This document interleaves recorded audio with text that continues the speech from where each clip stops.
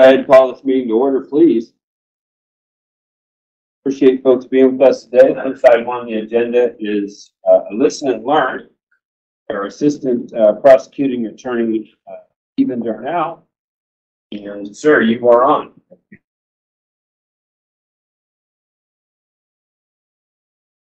Excellent. Morning, Commissioners. I'm here to talk to you briefly, hopefully. I know you have a very busy agenda as usual about community solar. And so I will note the quotation marks are intentional.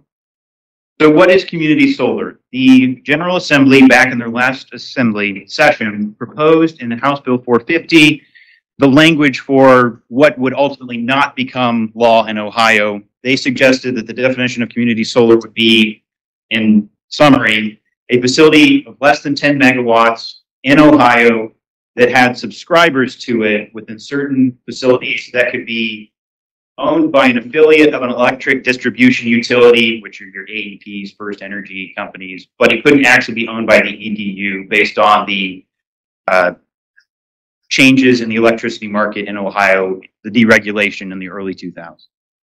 But, you know, given the way the legislator speaks, it's often important to break it down. And it boils down to a small scale subscription based solar project that allows individuals who live in other areas to buy or lease parts of a larger array so that they can make benefits on their electric bills from these solar facilities without actually having to put the panels up on their apartment in downtown Cleveland or worry about the location and the issues that they may face in that area.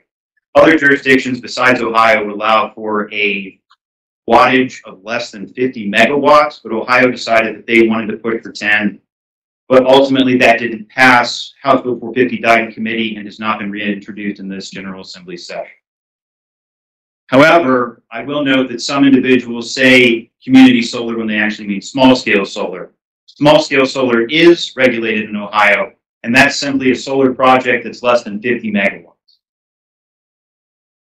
So a small scale solar facility is anything as long as it's less than 50 megawatts. And so given the way that Ohio regulates it, that means it can be anything of about 250 to 500 acres or less, all the way down to a solar panel on someone's home.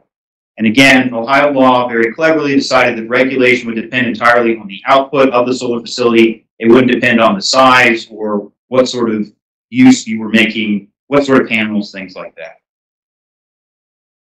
It's important to note that all of this regulation that has just come about in the General Assembly is in relation of the regulation put forward in Senate Bill 52, which now Magistrate Orsak spoke to you gentlemen about last year and that was for facilities larger than 50 megawatts and went into effect back in 2021, making changes to the Ohio Power Siting Board and the Public Utilities Commission and how the commissioners can interact with that process to control larger solar facilities.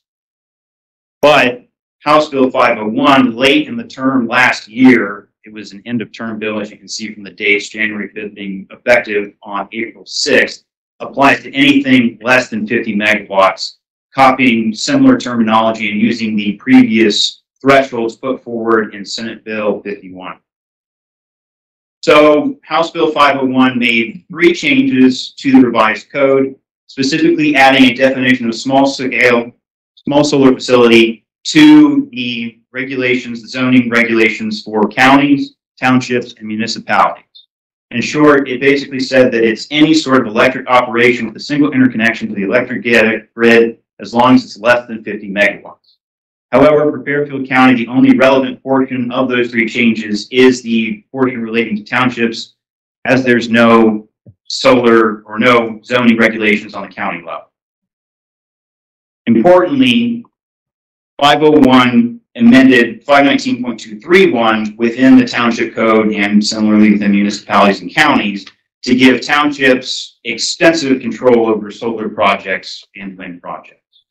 But it said they can regulate it with respect to the location, erection, construction, reconstruction, change, alteration, maintenance, removal, use, or enlargement of any small solar facility, whether publicly or privately owned, or the use of the land for that purpose within the township or the county or the municipality. So as you can imagine, that's a huge change that really opens the doors to all sorts of regulation by the townships. However, if the township wishes to go forward through the process in order to regulate solar, they would have to amend their zoning regulations via five nineteen point one two, which is again why there's no county level solution to, or county level resolution action that can be taken in regards to solar, small scale solar facility. Draft language has been made available to the township should they be interested in proposing it How has that been made available? by the Ohio Township Association. They came out with it in consultation with Brochus Law Firm and made it available to their members for them to review and take in whatever direction they wish in consultation with their legal counsel. Thank you. And just briefly to review revised code five nineteen point one two, since you would have no reason to be familiar with how townships and their zoning regulations. It can start one of three ways. The trustees pass a resolution to amend their zoning, the township zoning commission makes a motion to amend its own zoning, or a citizen initiative is sent to the trustees, but that ultimately will end up before the township zoning commission any way it starts. As it's submitted to the Township Zoning Commission, they have a public hearing and forward a copy onto the Regional Planning Commission for the RPC's review. The RPC then turns around and provides the recommendations, approval, modifications, or denial of the amendments and modifications to the zoning code. and Sends that on to the trustees after it's done. done. I may, sorry for interrupting. Um, when you say anything less than fifty, does that mean if someone lives in, um, Walnut Township and wants to put solar on their roof for their own use, it's part of this? It is. Okay, It's, it's very, very extensive. Okay. Thank you. um, bounces back and forth until ultimately the trustees, after they receive a more finalized form of the amendments to their zoning regulations, hold a public hearing, and they either adopt or deny the recommendations. If it is adopted by the township trustees, then the citizens have thirty days to have a referendum filed based off of the usual referendum requirements within the state of Ohio, eight percent of the last general election in that territory. So again, to summarize everything, this does not change the existing regulatory schemes put forward by Senate Bill 52, which is anything over 50 megawatts.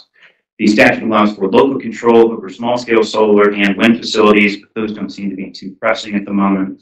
And it places small-scale solar facilities under governmental subdivisions zoning codes for them to do what they see fit. And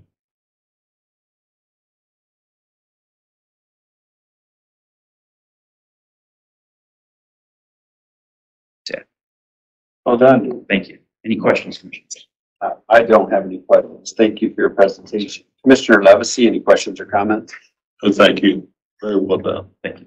Commissioner Fix, anything additional? Yeah, so you guys work with a lot of townships. You know, uh, are there townships currently trying to figure this out? And Some townships have expressed an interest. Um, Amanda, out far west where they've been having difficulty with their solar facilities, expressed some interest in the resolution, but they will obviously be hampered by the size restrictions put forward in these new codes.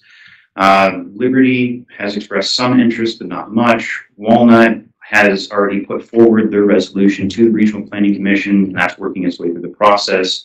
That was done without any input from the prosecutor's office but we have not heard much from the other townships as of yet. It is important to note that two of the townships within the county do not have any zoning regulations currently, so they wouldn't be able to do any sort of amendments to their zoning code or regulate solar in any fashion, since they don't have the original zoning code. thank you. Thank you. sir. This time, the commission sets aside an opportunity for voters or taxpayers to address the commission. If you would like to do so, please, uh, to the podium and begin by stating your name and residential address. Do you have a three-minute time limit, which we would appreciate your courtesy on? And we would ask that your comments be directed to the commission as to other members of the audience. Is there anyone who would like to address the commission at this time and under those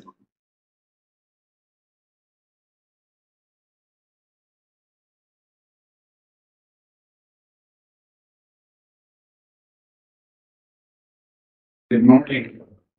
Name is Ray Stemen. Same address as it had been for years. Um, I would like to comment on a few things that, uh, a little over a week ago, we were able to, Judy and I both, to converse with, uh, Robert Sprague, the Ohio treasurer, and we discussed some things about abortion issues from the standpoint that, uh, a lot of things that are being taught in schools are not in favor of abortion, which is the way it should be. God made each individual, and what has happened, too many cases in which the mothers wanted to have abortion and they were decided against it, and they're very happy that they did charge, uh, go against it. But there's going to be a lot of money spent in Ohio to change what the, uh, Supreme Court of the nation did. They put it back on the states. And there's a lot of money coming into Ohio to change what we have as our constitution here in Ohio. And Robert Sprague was saying that we're going to try to defeat it and try to correct misinformation. And this is what it's all about. Information. That's true of almost any subject that comes up that needs a, a law or something like that. And really, what it is, the fact is this nation was built on Christian principles and morality. And as long as we keep God before us and try to do morally what He has described in the Ten Commandments and through the scriptures of the Bible, we would be okay in all of our work. But we seem to have put God aside now, and we don't.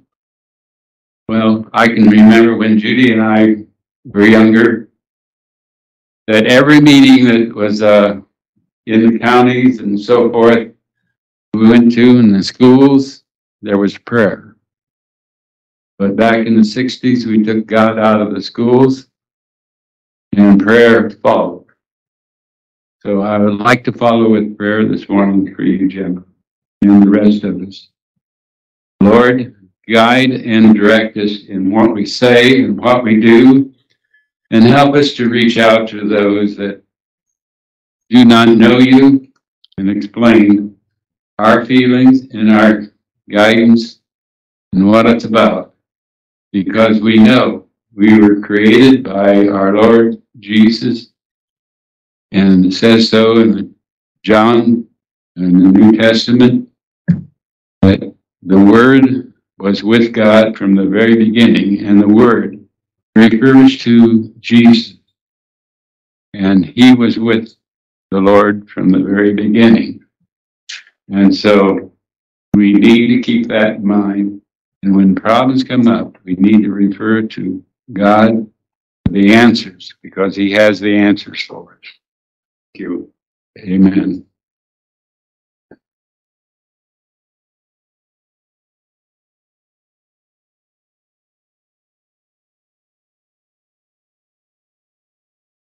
Anyone else who'd like to address the commission?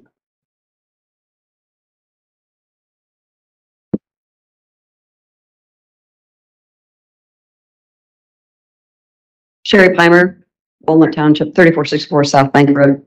Um, I know, you know, I'm here because of solar. We're trying to put a- a packet of information together for the commissioners.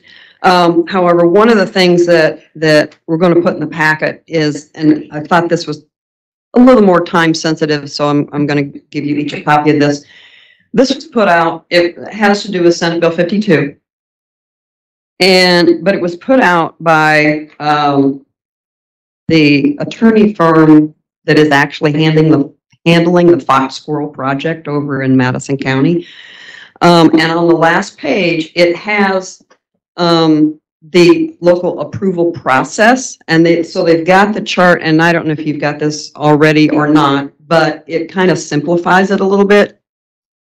And I know Commissioner Fix, you were wanting to wait until the application to the Ohio Power Siting Board was submitted before really kind of digging into, you know, some of this thing.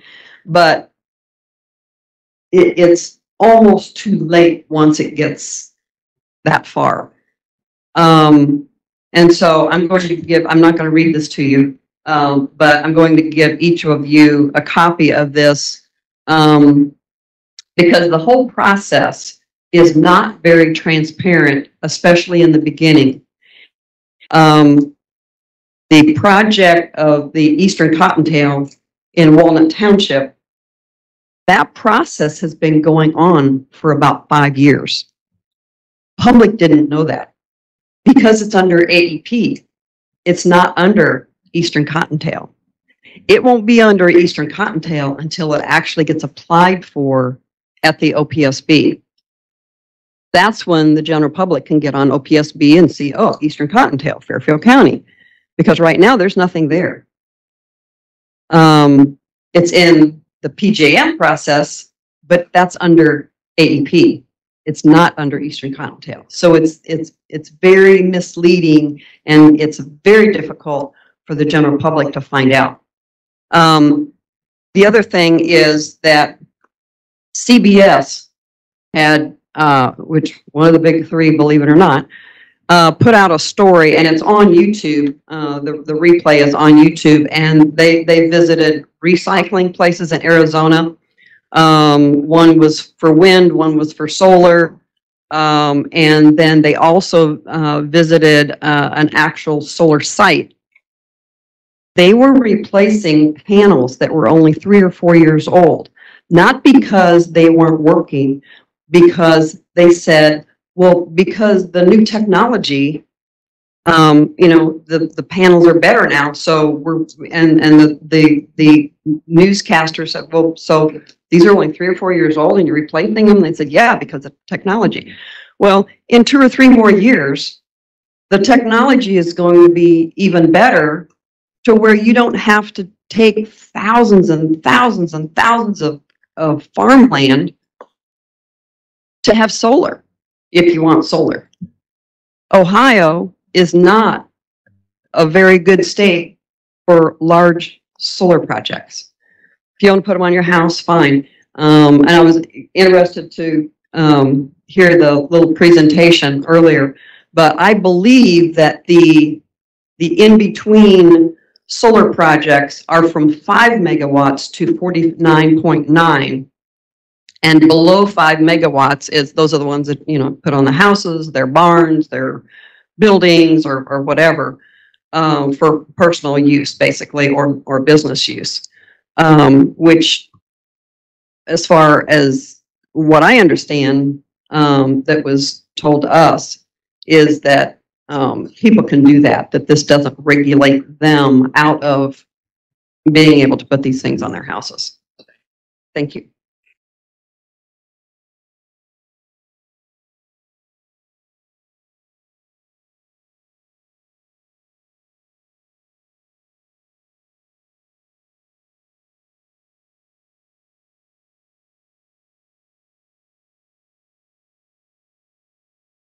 How you guys doing today? All right. Oh, I'm Andrew Murray from Local 18. Um, I'm a business representative for uh, IUOE Local 18 Operating Engineers. Uh, the address is 1188 Evelyn Road, Columbus, Ohio, 43215. On behalf of the Operating Engineers Local 18, if I get this phone to work right, I'm here to support the approval of the Eastern Cottontail Solar Project. The operating engineers are the individuals who operate heavy equipment, equipment such as bulldozers, excavators, backhoes, forklifts, and so on. The roads and bridges you drove on were most likely built by mem- by members of Local 18 along with fellow union member tradesmen, fellow union tradesmen and women. These solar projects will help provide our members with numerous employment opportunities, in turn, high-paying wages, health care benefits, apprenticeship programs continue to grow because of the solar industry. If approved, the Eastern Cottontail Project will not only create jobs, but you can expect an economic impact, additional tax money, and clean energy for Ohio as a result for the, from the project. We encourage the Fairfield County Board Commissioners to support the jobs of the men and women of Local 18 by approving the Eastern Cottontail Project. Appreciate it. Thank you, guys. Anyone else would like to address the commission at this time?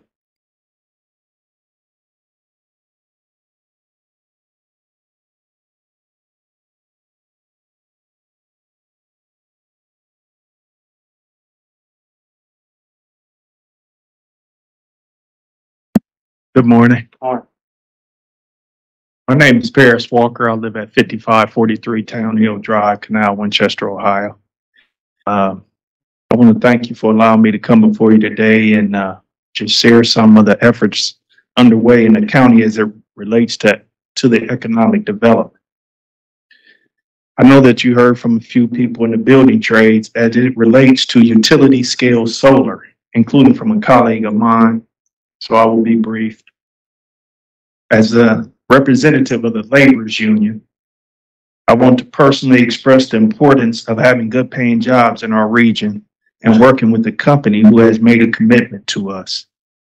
We are thrilled that EDF has chosen Labor's District Council of Ohio as a partner on the Eastern Cottontail Solar Project. And we will guarantee that our skilled men and women will be a best-in-class project that Fairfield County will be proud of.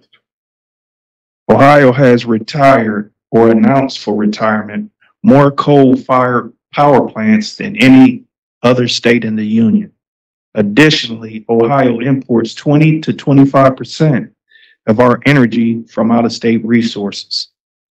Energy transition is not a theoretical concept in Ohio. It is happening in real time and solutions are needed. Ohio should embrace the opportunity to create homegrown energy. We'll provide good paying jobs with benefits and pensions. We are excited about the opportunity to build Eastern Cottontail and be a part of building our energy future and creating a significant economic development project in Fairfield County. Thank you for your time.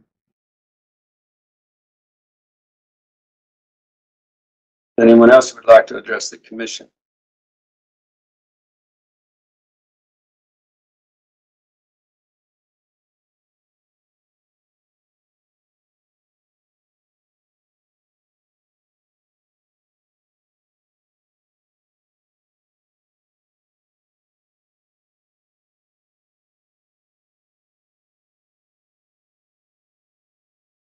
Good morning. Just a little confusion when you don't have a uh, printer working for you. And uh, that's been for two weeks now. And um, just wanted to cover some things. The worst atrocity in the history of the world has been confirmed. confirmed. Uh, The media covers up the tracking of unvaccinated people. Yes, unvaccinated people are being uh, tracked by our our government now.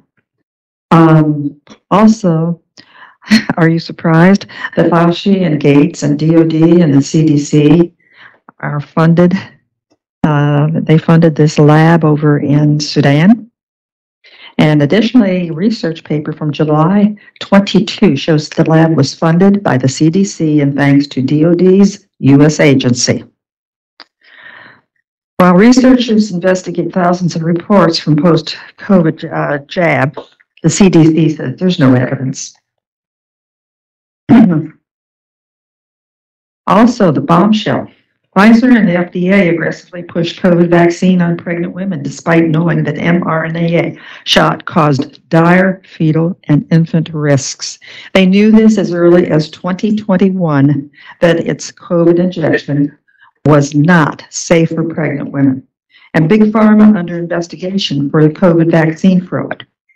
This next headline. The Texas attorney down there, uh, Paxton, he's uh, begun looking into the claims. And, um, yeah, it would be great if this was, uh, um, being looked into and by our own governor too. Um, or attorney general. Uh, watch, well, don't need to cover that one. Then the uh, James Dobson warns that Biden has uh, planned to destroy America's sovereignty. God help us, he said, if we let this happen to our on our watch. And he also said, mark my word, if American America gives up its sovereign rule as a nation, we could well lose our sweet land of liberty and effectively forsake every generation that has fought and died for it. God help us if we let this happen in, on our watch. Biden's plan would give the UN agency the power to shut us down and uh, tell us if we have to have a shot in our arm or tell us if we have to wear masks. It's a platform for, as he said, global governance. And Dobson also noted that the Bible, in the last days, there will be a one world government, a dominion that will keep people from buying or selling without approval, a later dictator. Next, the big uh, catch-up, uh, Chelsea uh, Clinton. She's pushing for the largest uh, childhood immunization effort effort ever. She's coming for your kids, folks. Kids as young as kindergarten. Now, this is the largest childhood immunization effort ever. Government obviously doesn't think they have done enough damage to children and adults, and yet, hmm. And if government is truly so concerned about health of Americans, then why do they not require immunization of all persons illegally crossing the border and entering into our communities? Okay, I will get these put together and then present them to Ani and, and Steve. Thank you. Thank you. Is there Oh, By anyone the else way, my name's Judy. who would like to address the commission?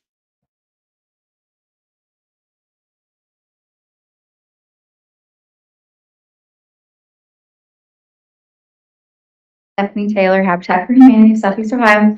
Wanted to send a very big thank you up to the county workers that came out on Saturday. Can only imagine it was a lot of work. You guys got all the trusses done, from what I understand, which is amazing. Anybody's ever had to do that, they actually have to hand lift them up. Uh, so it, it was a, a big feat and thank goodness the weather held out for you. So we're excited about that. If you know of anybody that's interested in coming out on Saturday, we're gonna do a women's build super pumped for that. And um, if you're out Thursday at the Chamber Awards, we were um, selected as the nonprofit of the year. So we're really excited and honored to be a part of that. So, That's all. Thank you. Thank you, Stephanie. Anyone else who'd like to address the commission at this time? We thank you all for coming.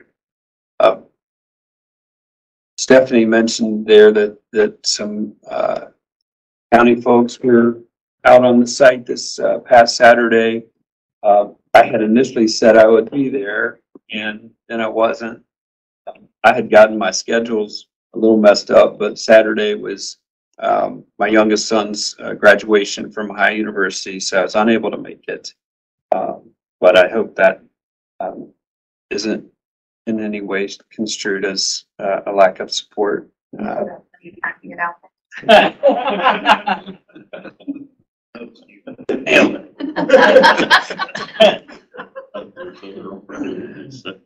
the, there's the morning team there. Um, we had, um, utilities folks, economic development workforce.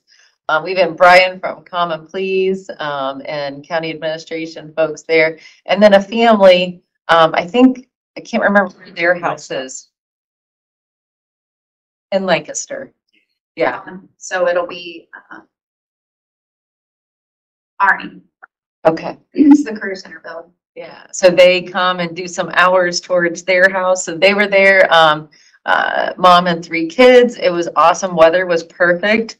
Tony and Josh from Utilities get the gold star. They got there early and stayed late and were up on the roof pretty much the whole time. So. Tony likes to be on. The And then uh, Corey and his folks from JFS, uh, after we got all the trusses loaded up there and then the house wrapped, um, they came and stood up the trusses, which is what we all did last year. So thanks for doing that part for us. Um, I think, uh, Robert there at the site was thrilled, uh, that we had moved him ahead in his schedule. Yeah. Thank you very much. He's, a- he's an awesome worker there, Stephanie. He's, he's a, he's a real treat to work with. Well, the commissioners very much appreciate all the folks who were able to go out and be helpful uh, in this uh, effort. And we also extend our uh, congratulations to, to Stephanie at Habitat for your, the recognition that you received.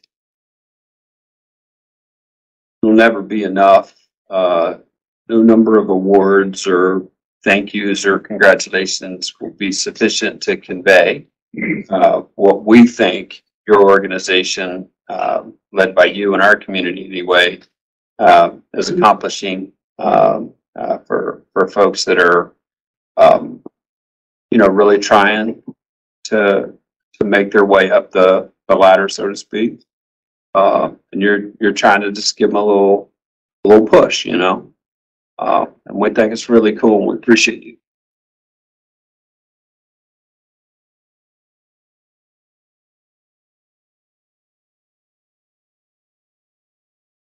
Oh, no. Hey, how y'all doing? Anything on legal? Yeah. All right. Uh, Stephen, you did a nice job today. Thank you. Move on to, uh, administration update. Ani? All right, we can review American Rescue Plan update from the thirty point six received. Uh, twenty-three point seven has been appropriated, thirteen point three expended, and four point two encumbered or obligated. Um, and Bart and Jeff have done a great job with reporting and tracking. And we've had some folks, um, have additional inquiries as of late, if there is funding available. And, uh, we're pausing for a minute because we have a number of, um, major projects that are outstanding and want to make sure that we can properly fund those projects to completion. And if anyone is sharing a request with us, uh, Jeff and Bart are taking those in and making sure we've got that information to follow up if and when there is an opportunity to add additional projects to that list. And on that, if I might, on the schedule already is a coming update from Adam, is that right? Correct. And when, what's, when are we supposed to get that Um, update? next week, I believe. Let me double check here. Yes, next Tuesday. Yeah, and so, given the order of magnitude of that project, you know, that's kind of the big dog in the room, if you will, in terms of kind of figuring out where the water is gonna find its level in terms of the final analysis. So I know that my colleagues and I are all looking forward to, to hearing how they're doing and what that timeline looks like. So, please. Continue. right. Uh, Google update at the Ohio Chamber. So last week, Rick and I had the opportunity to, to attend the Ohio Chamber of Commerce event where Google officially announced that they are building a total of three fully operational data centers in central Ohio, with one of those being located in Lancaster. Uh, we were also joined by the mayor, Linda Berge Disser, and, um, gosh, Stephanie Bosco. Um, there at the event, they had a fun little Google, uh, photo opportunity there. So it was a great morning. Um, and ABC did a, um, an interview with Rick that shed a little bit more light on it. We good to roll that, Bennett?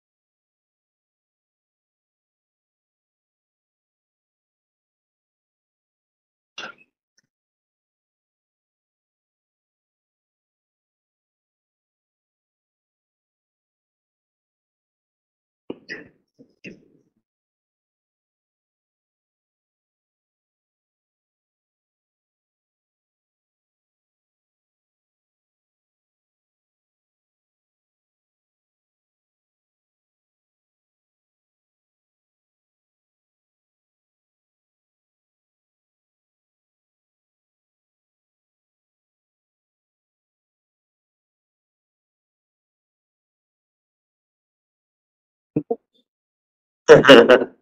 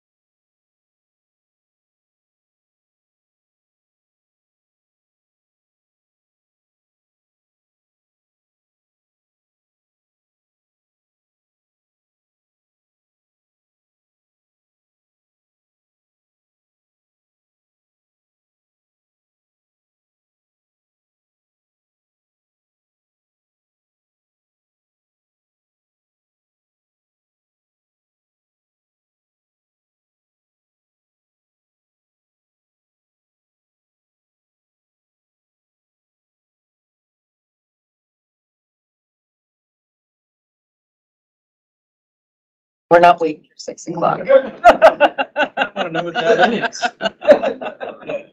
If I could ask a couple questions, because I, I'm, you know, I know that some folks were under an NDA, a non-disclosure agreement with regard to some of the early conversations with Google. Um, it's, I don't know, a little bit odd to have an announcement that they're going to build when they've been out there building for a year or so. And the other thing is, uh, uh, and I, I, don't want to attribute this to anyone other than the street, but the street version of the NDA uh, involved more than one Google data center uh, in, in Lancaster or Fairfield County. So I, I, I just, I'm not sure that what we're hearing is all there is to be heard. Or if you know more about that, that you're even allowed to say, I don't know.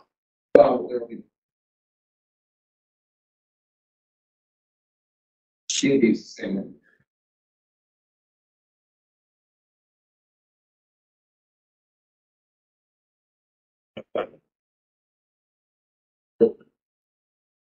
And, and if you know, and Tony, you may know, I don't know, the, the, the new well field that is being constructed at Miller Park.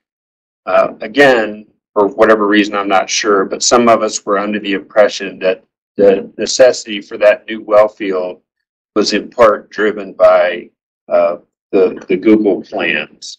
Is that, that information accurate or is, or, people just adding one and one together and getting eleven on that?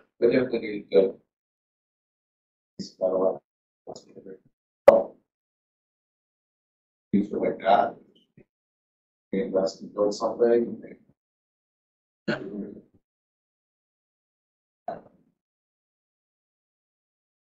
Three. The usage.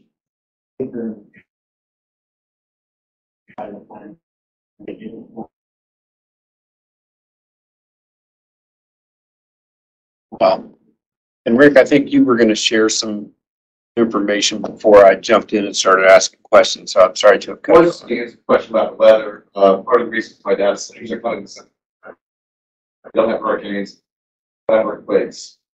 Not any blizzards, tornadoes, um, plus access to the coast, but that's a big reason why we're starting.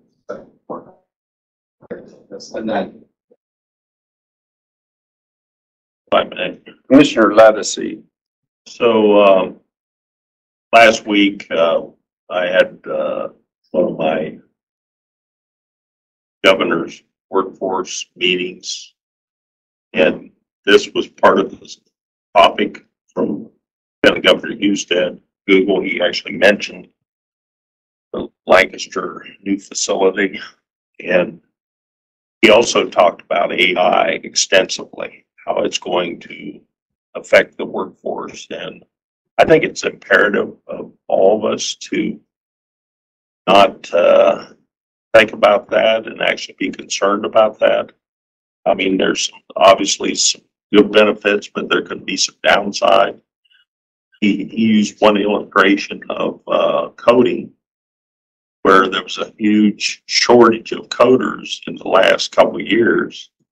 And now that's totally gone away because of AI. So those jobs are going to be totally eliminated per se. So I think as we continue to think about workforce, we also need to embrace technology in a big way because I think a lot of the jobs are going to shift that direction. And so, again, I don't know enough about it.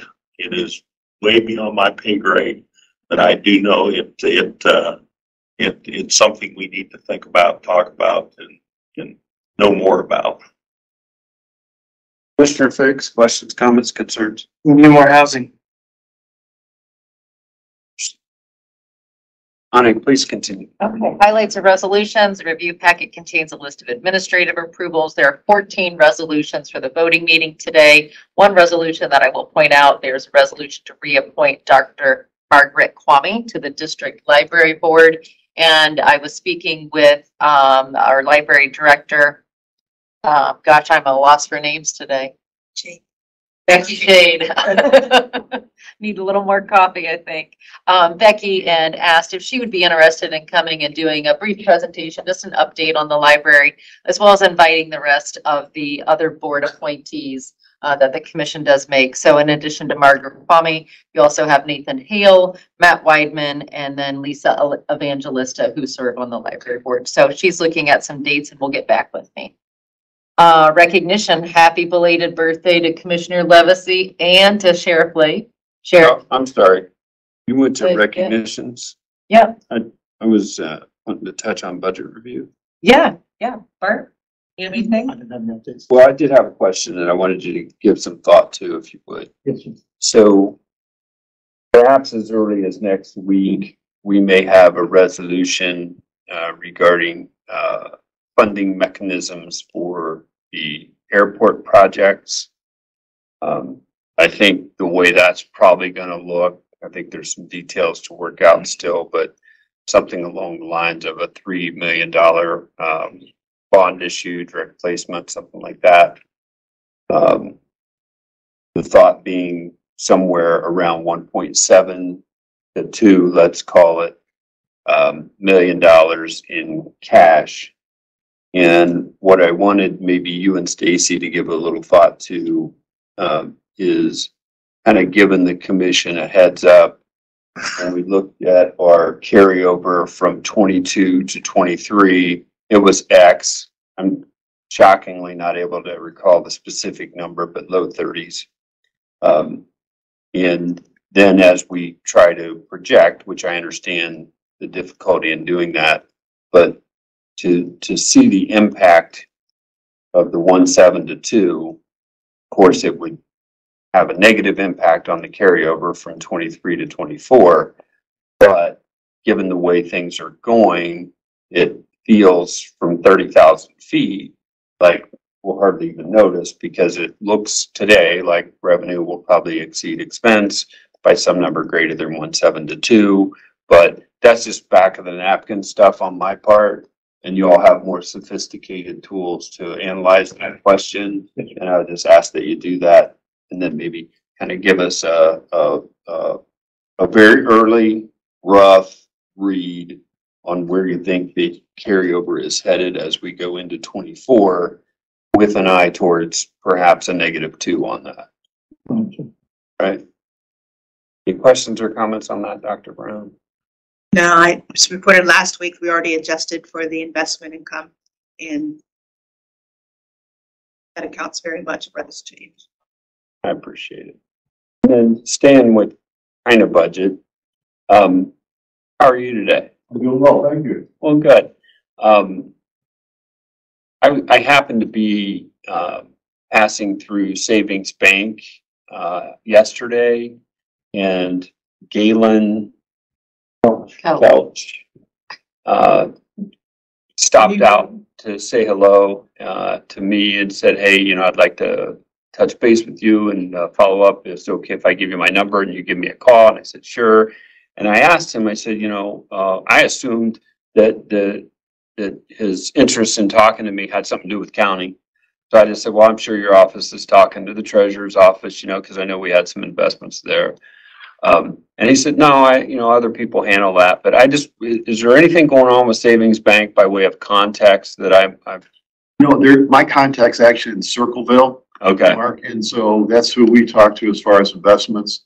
As you know, we had moved money from there to Star Ohio because of difference in rate. And there, wa- I, ke- I keep them informed on what's going on, so we still have the accounts there with the, uh, the land bank, still the savings bank. okay. And we have a good relationship with them.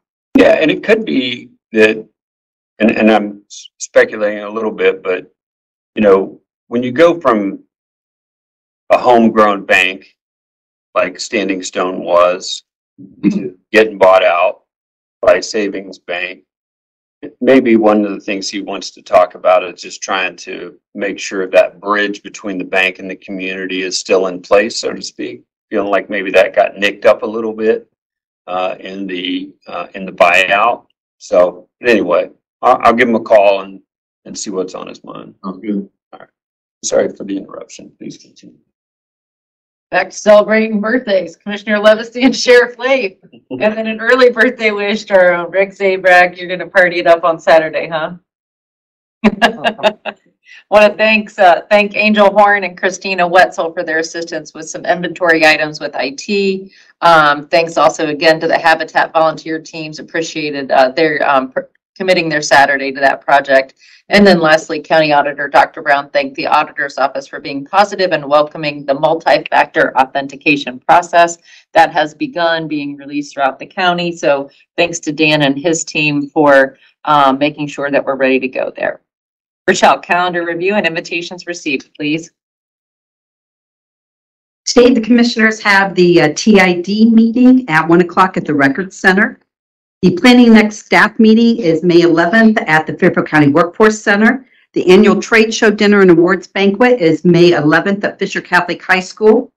The Workforce Center graduation is May 12th at 11:30 a.m. at the Workforce Center. And an invitation was received to the Lithopolis Annual Memorial Day Parade and ceremony to celebrate the 100th year anniversary of the Wagnalls Memorial. That is on May 27th, May 22nd at 10 a.m. And um, that is all I have for invitations. For correspondence received from the Fairfield County Regional Planning Commission, we have a stop work order notice issued to Palmieri Builders on May 2nd.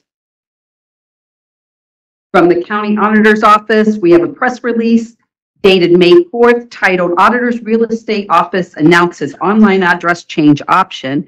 And also from the County Auditor's Office, we have a memo dated May 4th, subjects current agricultural use value program, Board of Revision cases, records request update, and lodging collection snapshot.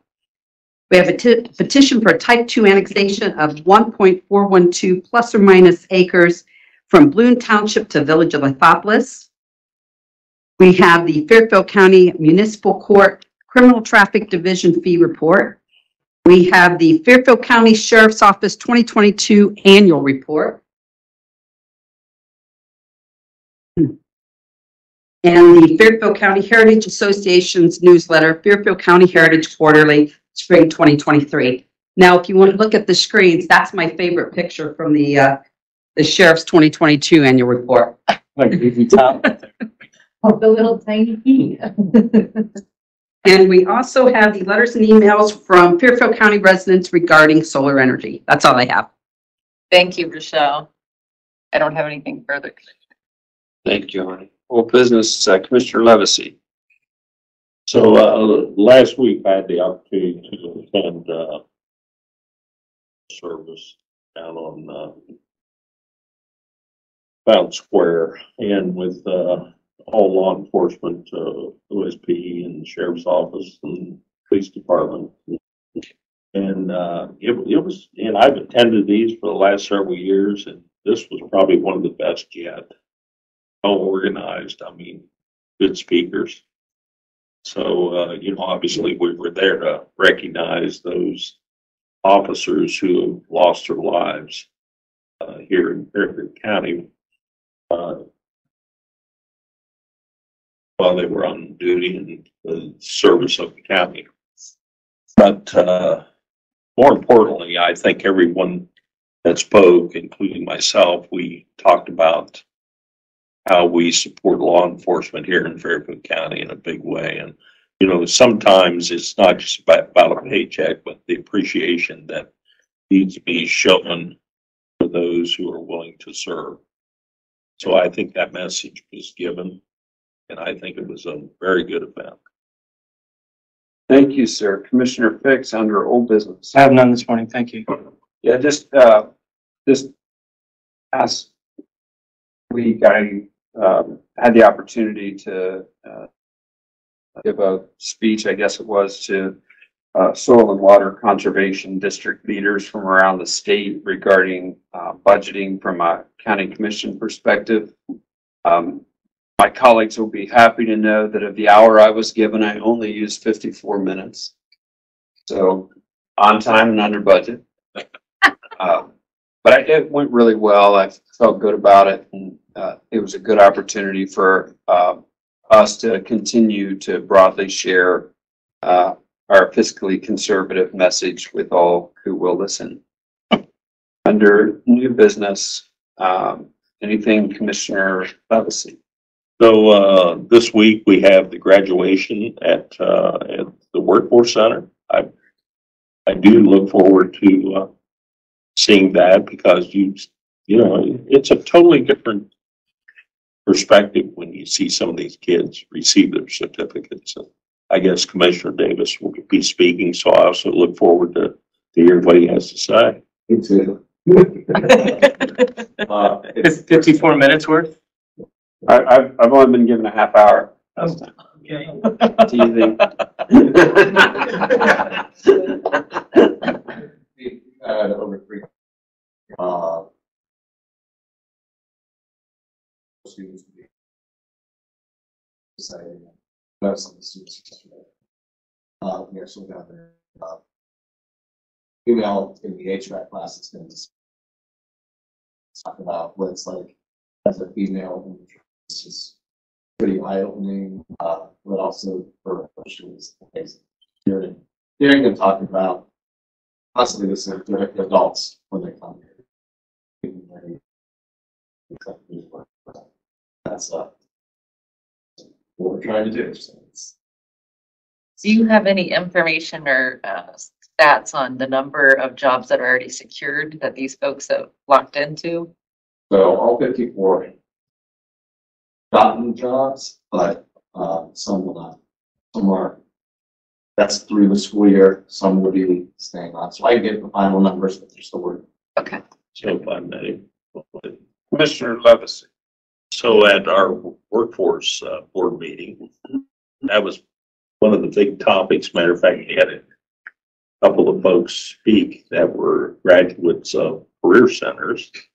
Uh, one in construction, the other in technology, uh, technology repair, kind of interesting, but, uh, and, uh, that, much of that meeting had a, a big focus on what we're doing at the workforce center, on that kind of operation, so. I think we're ahead of the game. Commissioner Fix, under new business. I have none today. Thank you. Rick, just a question. If there's a, there's a YouTube personality that I, I see once in a while. His name's Francisco. It doesn't matter. But when I first saw Francisco on YouTube, he had thirty-nine chickens. And then, I don't know, a few weeks later, he's talking again and he's got thirty-eight chickens and there was no explanation given for what happened to the, the other chicken. I was first told there would be fifty-five people graduating, and then this morning I hear fifty-four, and I want to know what happened. to the other. That would be, that would be another discussion. Okay, fair enough. Sometimes the chicken stuff come back.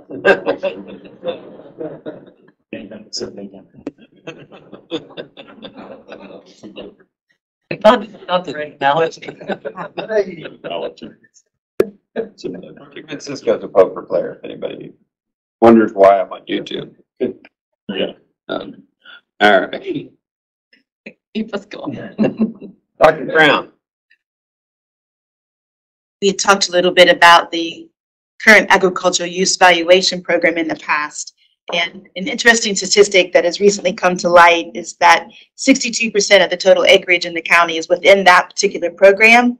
And it results in an average of twenty-seven hundred dollars of savings annually um, for the property owners. And so just wanted to point out that statistic about what it means specifically for people who are in that particular program. When I came in, I saw Randall and I was thinking about the low income housing. And House Bill forty-five actually had some negative impacts to those that are making affordable housing and the fact that you can't have the combination of uh, historic preservation credits along with low income tax credits. But it also did one other thing that is new and it'll be new for the valuations in twenty-three for collections in twenty-four in that the county auditor can now use multiple methods of that valuation that it could not use previously. You can use market approach, income approach, and combine those approaches even with cost approaches, which is different.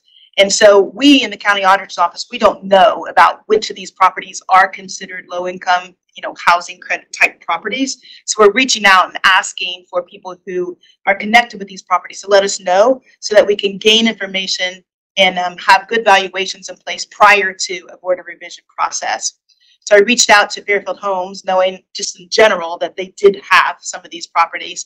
But if you have a list of all these properties, I would like to have that list so that we can reach out to everybody and so that more information um, can be provided as we think about those valuations. Thank you. On the schedule today, there's a uh, resolution for an unclaimed funds transfer. That's normal process from 2017 after five years pass and it's um, unclaimed and then moves to the general fund. So $33,674 is going to the general fund from unclaimed. There is a process to get it out of the general fund if there's a need to do that, but this is just the normal process for moving those funds.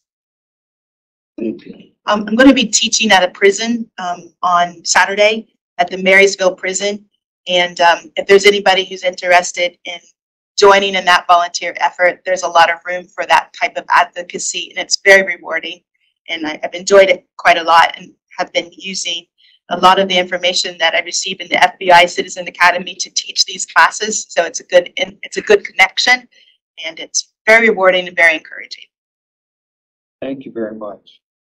Have Anything you want to share? Uh, Just quickly, House Bill one thirty-four, which is in its very early stages and has impact on land banks. Not so much land banks, but more so the treasurer's office, working with land banks. But as, as far as when we sell tax liens to the treasurer's office, then they want us to go ahead and notify all lien holders. So we gave some testimony, uh, last week on this. And, uh, right now, we're not in favor of it as far as the treasurers go. That's current state, so we're trying to work through that with the re- representative from Cleveland opposing the bill, uh, with support of the, uh, Ohio, uh, County Treasurers Association, so keeping a close eye on it. It really changed the way that we sell tax liens. And I understand what you've said about one thirty-four in the House. If you know, is there a companion piece yet working its way through the Senate? Not to my knowledge. Okay. All right, well, thank you very much. Is there anybody, uh, the issue or item that anybody'd like to bring the attention of the commission at this time? Just uh, a note on the schedule, I have to leave after our voting patterns. So I won't be able to attend the hearings. I object. I recognize your objection and move on. Duly noted.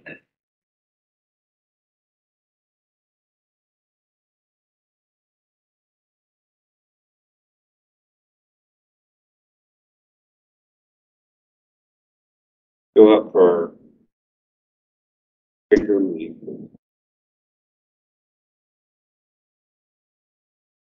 I can't carry all this stuff.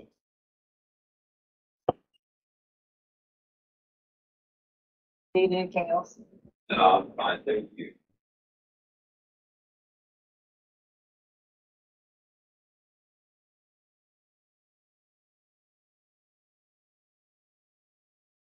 Please rise if you're able and join us in the pledge of allegiance.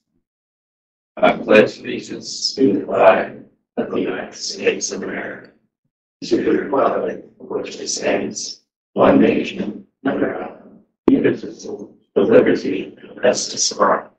Thank you.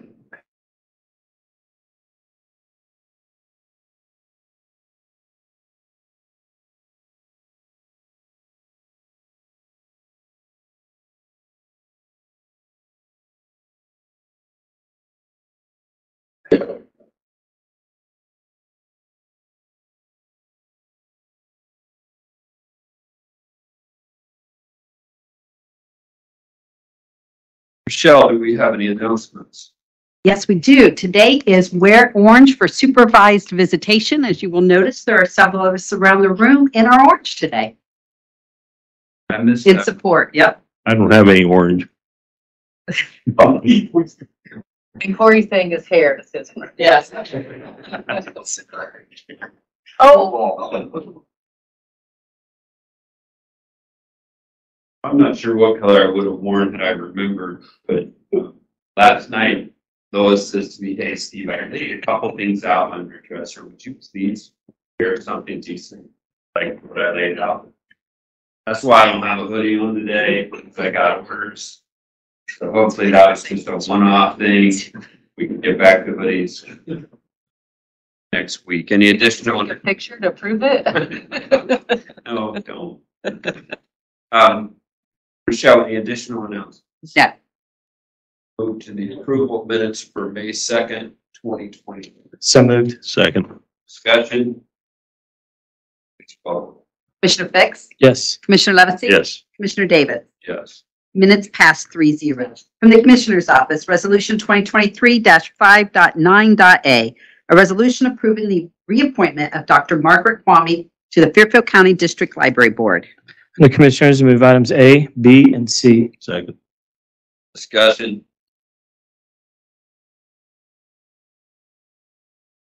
Commissioner Fix? Yes. Commissioner Levacy? Yes. Commissioner Davis? Yes. Motion's passed three zero. From the Fairfield County Auditor Finance Department.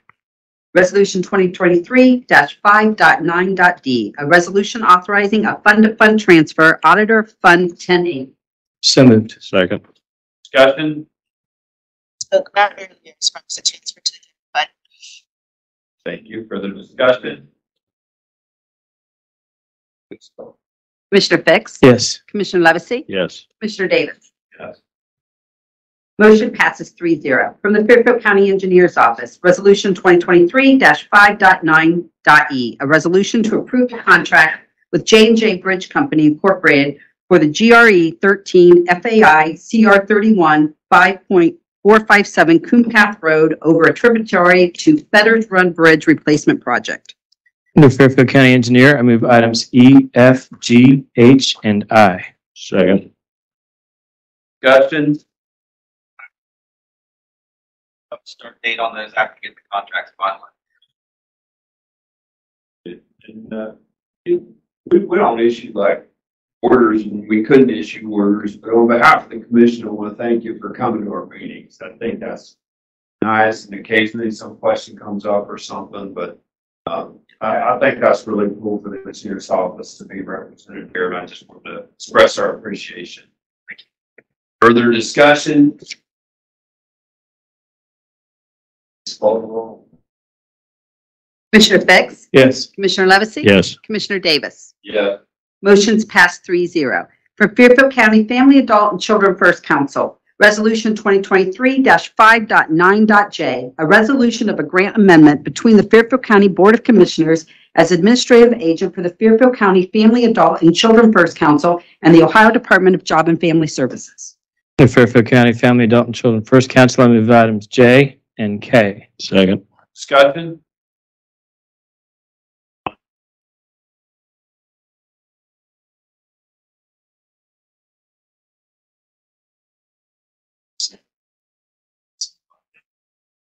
Training that staff received as an incentive, and then, uh, additional funding to support our multi-system. fund. Thank you. Further discussion?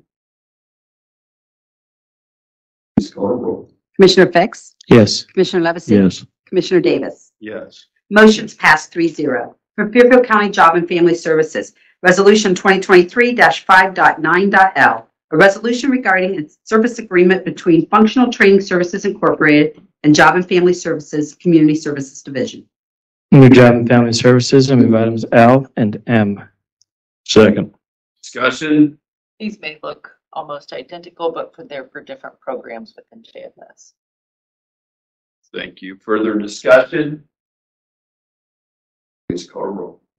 Commissioner Fix? Yes. Commissioner Levacy? Yes. Commissioner Davis? Yes. Motion's passed 3-0 Payment of bills, Resolution 2023-5.9.n. A resolution authorizing the approval of payment of invoices for departments that need Board of Commissioners approval. So moved. Second. Discussion? Please call a roll. Commissioner Fix? Yes. Commissioner Levacy? Yes. Commissioner Davis? Yes. Motion passes 3-0 The next regular meeting is scheduled for May 16th at nine AM. All right, so before we have that next motion, I just want to make sure that I, and I guess others are clear on today's schedule. At ten thirty, we have the CDBG hearing, right? Correct. And who is conducting that? Holly doing that? Holly, yeah, Holly, Yeah, along with with Hicks the Partners. news, um, uh, regional planning director. Right. Did you say Hicks Partners? Yes, Rochelle? Yes. All right, so that's at ten thirty, right? Correct, And then at eleven, we have CHIP, is that right? correct. And Randall, are you on point on that? I am. Right. And so from a uh, procedural standpoint, we adjourn and then those meetings stand alone, so to speak, as CDBG and CHIP meetings, right? But as a commission, we're out. Um, Or do we stay in? I think we stay in. I think you should stay in session for those. I those. think we stay Um, in. they, they will lead them, but they are your public hearings. Right, which, which won't have Commissioner Fix. Correct. Right. Okay. Even though this, this might incorrectly state adjourned. Having this conversation every time I point out stuff that you. So I would just recess Commissioner Davis. I'm trying to help you out here. Um, and, uh, then you can go back. Then the other issue item, that I'd like to bring the attention to the commission before we recess until ten thirty, when we will have the CDBG hearings. The commission is in recess. We thank you all for coming. That's fine.